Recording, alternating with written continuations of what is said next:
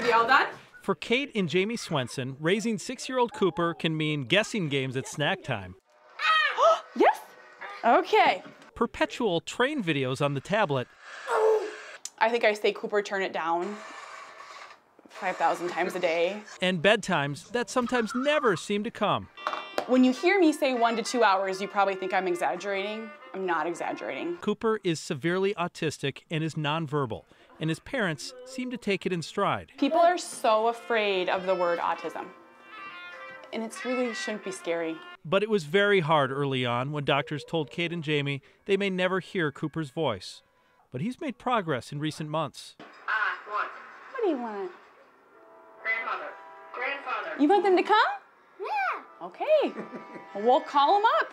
So when Kate saw an online contest promoting Tonight Show host Jimmy Fallon's new book, Everything is Mama, asking parents to send cute videos of their kids saying Mama, Kate decided to show them what Cooper can do. What is Mama's name? Can you say Mama? Mama. Mama, can you show them? The judges fell in love with his effort. Hey, can you make a sound for me? Go. Meow.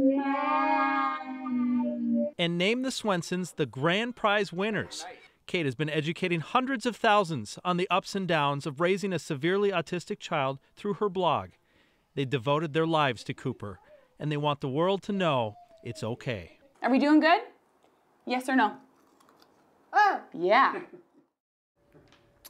So, for winning the contest, Kate and Jamie got a free trip to New York. The kids stayed back home with grandparents, so it was the parents' first vacation together since their honeymoon, and it was the first trip to New York City.